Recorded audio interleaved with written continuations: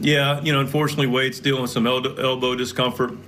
Um, it's a little tight in there, and um, you know, so we try to stay ahead of it.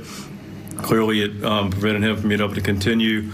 Um, you know, he's a little dejected about it, and so are we for him. He's going to go back to St. Louis, get imaging, and we'll see what it looks like. Um, we're optimistic, but clearly um, he's going to have to go get imaging, and um, we'll see what it looks like. Hopefully, uh, positive news tomorrow with it. Went into that great ball game. It was a great performance by the bullpen. That was a whole segue. Yeah, thank you. Um, you. You were able to see so many different guys. Of course, you never want to lose your starter that early in a game, but be able to see this bullpen come in and put together a really consistent game, keep you guys in it, and then get the sweep, that has to be huge. Oh, man, huge. What a team effort today. Gosh darn, what heart. And, uh, you know, pretty much everybody participated in this one and touched this one if she'll feel good about getting the, the last one here on a on a um, you know tough turnaround with a really smoking hot day and the guys really answered the bell and bullpen was outstanding. Um, you know, McFarland comes in, gets the top of the order, gets the ground ball. Miller, you know, three strikeouts on his slider. You know, Moran got the one swing, but man, good good job. Um, Garcia was super effective, 10 pitches, um, went through the part of that order that he needed to take down. Um, and then we just, uh, you know, went from there with, uh, you know, Cabby came in, was really good, and then uh, did a nice job to get a couple outs in the in the seventh as well. Five up, five down. Good curveball today from Cabby, landing it for strikes. That was important for him. And then, uh, you know, Gio, we knew uh, he was a little fresher. Um, haven't had four days off, so he finished the seventh and then, um, you know, made pitches, did Gio stuff. You know, made pitches, had some traffic out there, but made a lot of big pitches to wrap up the seventh and get the eighth. And then Alex, uh, you know, got through the ninth and did a nice job for, for a nice team win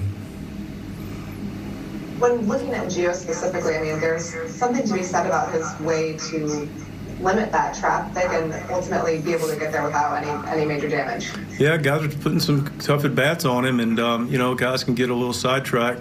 But Gio just makes his pitches. He's got two great weapons, and um, stay in attack mode, and still use his heater and his slider to to get it done, and you know, to compliment to him for his way he competes. Thank you. Yes, ma'am. Derrick Goold, St. Louis Post Dispatch. Mike, the, uh, the, we're into what the bullpen provided today. Also, almost half your runs came off the bench yep. after you had to kind of go to them a little earlier than planned. Um, maybe just an, example of their preparation, of, of, maybe how those guys are learning that role and improving in it as the season goes along.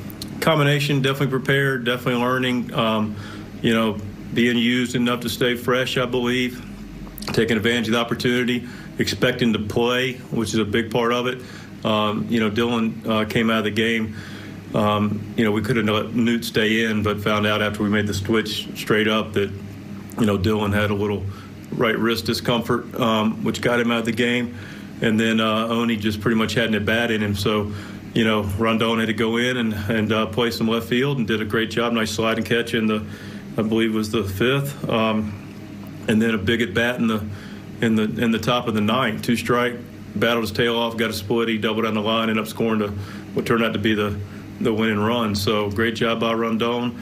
Um, obviously Bar, you know, sitting there and um, you know you got a decision to make. You know you got some bullpen um, that uh, you still have a lot to go. You're sitting there in the top of the fourth, and uh, but you hit for. Mc- McFarland, who did a great job, as I alluded to.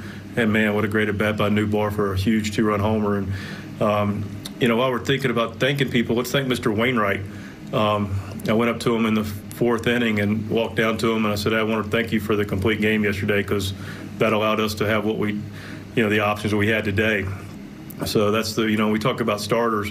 You know, we talk about the starters in a vacuum, but we also talk about how important it is to get those starter innings. So when you do have a blow up or something doesn't go well, you have the innings to cover it, and you know you're not getting drained. So um, Mr. Wainwright deserves an assist as well. Did Dylan hurt his wrist on a specific moment? You know, I know he stole a base. He had the the um, the, what the interference call was interesting. Yeah, um, Jinx. Um, the, the, did he hurt himself at a point there? He felt a little something yesterday. Nobody medically felt like it was any issue, including him. Um, so we monitored it, flared up a little bit on him today, so we clearly got him out of there. Um, you know, I thought he took a, you know, first inning was great, took a nice at bat, takes a bag, and then Nolan, um, you know, with the big, big RBI double right there. You know, hats off to the guys like Nolan and Goldie. You know, Paul, these guys are grinding their butts off. Harrison, um, you know, they showed up and got after today. So uh, a lot of respect for that group. They're, um, you know, that's why they're winning players. But Nolan, Goldie, you know, Eddie, Paulie, Harrison, um, you know, they're, they're getting after it, man. A lot of, a lot of respect.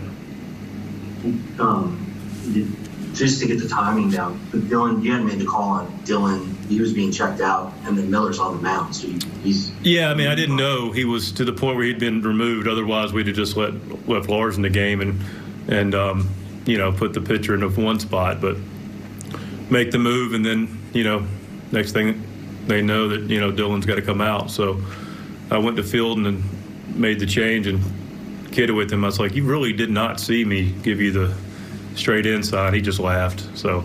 No, at that point, it is what it is. You know, timing's everything. It was a little late. We had to, um, you know, think on the fly a little bit more than usual today, but that's what we do, and the guys did a great job.